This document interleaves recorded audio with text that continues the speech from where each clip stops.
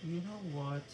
I'm going to be making 30 videos today, and I'll also try my very best.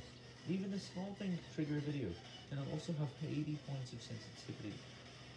So that means I can make way more videos. It will just continue like this forever. 30 videos a day for the rest of my life. This will never stop.